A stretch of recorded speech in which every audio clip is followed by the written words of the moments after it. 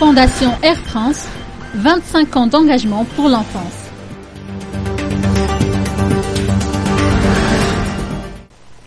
La Fondation Air France a été créée en 1992 par la compagnie Air France.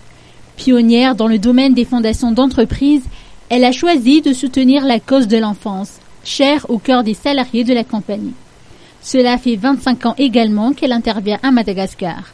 Comme chaque année, la Fondation Air France avec Air France Cargo a réalisé une collecte de dons.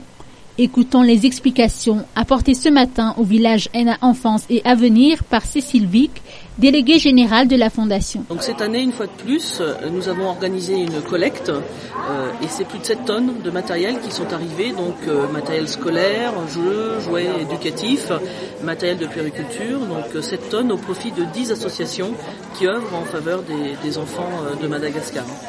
Et puis euh, cette année en plus, effectivement, il y a eu cette grande collecte de vaisselle. Euh, Air France avait un stock euh, important plus utilisable et a décidé par bateau de le convoyer jusqu'à Madagascar pour des associations, de multiples associations, puisque c'est plus de 400 000 pièces, hein, donc ça représente énormément de tonnes, donc de la vaisselle, des assiettes, des bols, des cuillères, des fourchettes, vraiment tout le matériel qui est utilisé dans l'avion pour les repas qui ont été distribués cette année en plus aux associations malgaches. Des centaines de milliers d'enfants ont bénéficié des dons et financements de la Fondation durant ces 25 ans de par le monde. Le bilan est positif.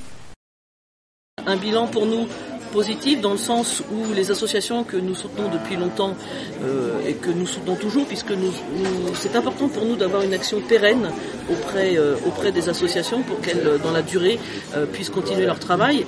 L'exemple, bah, c'est où nous sommes ici aujourd'hui, c'est effectivement l'association AINA que nous aidons depuis sa, création, que nous continuons d'ailleurs à suivre entre l'orphelinat et ici même la maison des adolescents et puis les crèches solidaires et vraiment, nous sommes très fiers de soutenir ces très belles associations qui sont nombreuses à Madagascar et qui font vraiment un travail remarquable.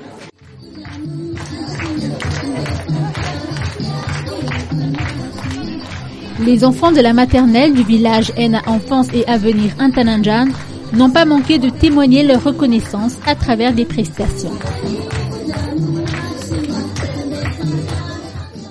Les mamans, elles aussi, ont exprimé leur joie et leur reconnaissance.